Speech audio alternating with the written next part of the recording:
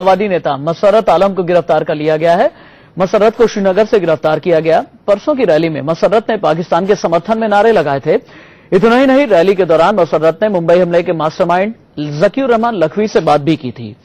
तो जम्मू कश्मीर के अलगावादी नेता मसरत आलम को गिरफ़्तार कर लिया गया है। मसरत को बुधवार को पाकिस्तान समर्थक नारे लगाने के केस में गिरफ़्तार किया गया है। तीन तस्वीरें हम आपको दिखा रहे हैं। परसों रैली हुई। कल मसरत आलम को नजरबंद किया गया और आज मसरत को बडगमा के हुमहामा थाने की पुलिस ने गिरफ़्तार कर लिया। खबर यह भी है कि मसरत पर देशद्रोह का मुकदमा भी दर्ज हो सकता है।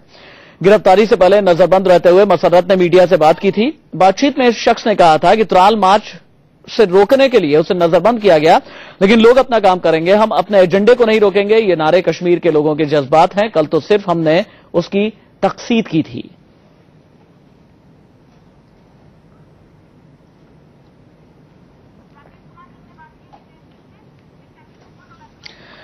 लगातार पॉलिटिकल रिएक्शन आ रहे हैं और राकेश कुमार सिंह ने केंद्रीय मंत्री जितेंद्र सिंह से बातचीत की है। देखिए आप। गिरफ़्तार कर लिया गया हमारे साथ बातचीत करने के लिए। पीएमओ राज्य मंत्री डॉक्टर जितेंद्र सिंह साहब हैं। डॉक्टर साहब लेकिन ये लगता है कि वहाँ पर रैली करने की इजाज़त जिस तरह से दी गई और जिस तरह से पाकिस्तान के समर्थन में नारेबाजी लगा क्या क्या कहेंगे? नहीं मैं समझता हूँ कि हो सकता है ऐसा लगता हो कि थोड़ा विलंब हुआ, परंतु अंततः इस बात को स्वीकार किया गया कि राष्ट्रवाद, देशभक्ति और देश की प्रभु सत्ता को लेकर के कोई समझौता स्वीकार नहीं है और अलगाववाद के प्रति भारतीय जनता पार्टी का पक्ष सदा स्पष्ट रहा है। उस समय भी जब हम विरोधी दल के रूप में थे और जो गठबंधन वहाँ निर्माणित हुआ है, वो मात्र प्रशासन हेतु एक न्यूनतम कार्यक्रम कॉमन मिनिमम प्रोग्राम के अंतर्गत हुआ है। हमारे सिद्धांतिक विषय, मूल विषय वहीं के वहीं हैं, उन पर कोई समझौता नहीं। गृह मंत्री फ़ोन करते हैं और 24 घंटे से ज़्यादा समय लग जाता है मुफ्ती मोहम्मद सईद साहब को मुशरत को मशरत आलम को गिरफ़्तार करने में।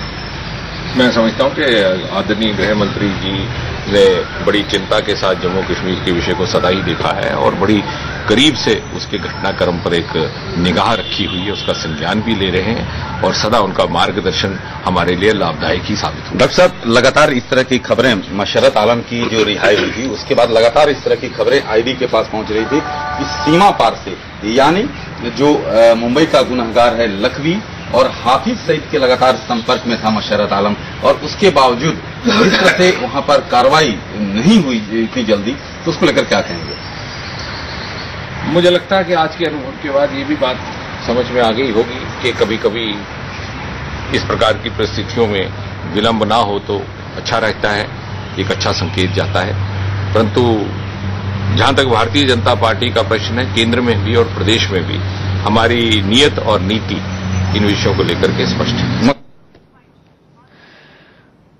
लेकिन इस बीच कांग्रेस के महासचिव दिग्विजय सिंह ने मोदी सरकार पर हमला बोला है। दिग्विजय सिंह ने यह कहा कि हमें तो कहा करते थे कि बिरयानी खिलाते हैं। मसरत आलम पर बोले दिग्विजय सिंह। दिग्विजय सिंह ने मुफ्ती सरकार से पूछा कि आप मसरत को क्या खिला देंगे? क्या देशद्रोह के आरोप में गिरफ़्तार किया है? हम पर बिरयानी खिलाने का आरोप लगाया करते थे। मिथिलेश कुमार सिंह ने दिग्विजय सिंह से बात की है, देखिए। आखिरकार मसरत आलम को गिरफ़्तार कर लिया हमारे साथ बातचीत करने के लिए कांग्रेस महासचिव दिग्विजय सिंह। सर इतने इतने नफरत फैलाने वाले भाषण और पाकिस्तान समर्थक नारे देने के बाद अब गिरफ़्तार कर लिया काफ़ी इतना?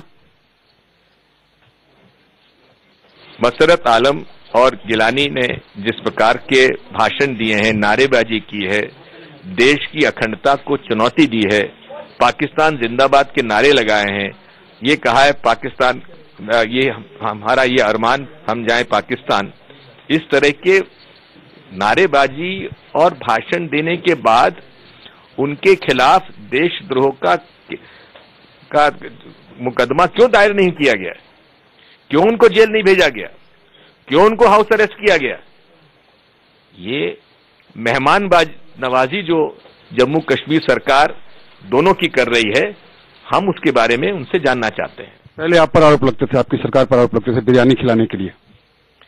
कसाब को न तो बिरयानी खिलाई गई, न उसको कोई इस प्रकार का स्पेशल दर्जा दिया गया। उनको, उसको हाउस अरेस्ट नहीं रखा गया था। उसको सबसे खतरनाक जो अंडा जेल है, वहाँ रखा गया था। दोनों मसरत आलम और गिलानी को हाउस अरेस्ट रखा गया है। कहाँ रखा गया है, ये भी जानकारी जम्मू कश्मीर सरकार को देनी चाहिए। साथ में ये जानकारी भी देना चाहिए कि किन कानून के अंतर्गत किन धाराओं के अंतर्गत उनको गिरफ़्तार किया गया है। प्रधानमंत्री इस बारे में कुछ नहीं कह रहे हैं विदेश दौरे पर हैं आपकी आलोचना कर रहे हैं। लेकिन जब भी आप इस तरह की बात करते हैं संसद में उन्होंने कहा भी था कि देशभक्ति का पाठ अपना सिखाएँ। देशभक्ति का पाठ आप उस पार्टी को ना सिखाइए जिसने इस देश को आज़ादी दिलाई है।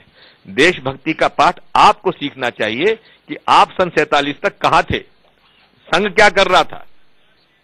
मैं दूसरी बात और भी कहना चाहता हूँ कि आप विदेश में जाकर प्रधानमंत्री के रूप में आपने जिस प्रकार का राजनीतिक तौर पर पूर्व सरकार के खिलाफ भाषण दिया है, हम उसकी निंदा करते हैं, क्योंकि वो तथ्यों के आधार पर नहीं था और परंपराओं के विपरीत था। लेकिन अमेरिकी राष्ट्रपति बराक ओबामा उनकी तारीफ़ कर रहे हैं। टाइम्स में आपने उनका देखा होगा। जी हाँ मैं उनको याद दिलाना चाहता हूँ बराक ओबामा साहब को कि इसी प्रकार की तारीफ़ सर विंस्टन चर्चिल अमेरिकी राष्ट्रपति बराक ओबामा उनकी तारीफ़ कर रहे हैं। टाइम्स में आपने उनका देखा होगा। जी हाँ मैं उनको याद दिलाना चाहता हूँ बराक ओबामा साहब को कि इसी प्रकार की तारीफ़ सर विंस्टन चर्चिल ने 1937 में एडोल्फ हिटलर की की थी। कहीं ऐसा ना हो कि माननीय बराक ओबामा साहब को भी विंस्टन चर्चिल जैसे अपने शब्दों को वापस लेना पड़े।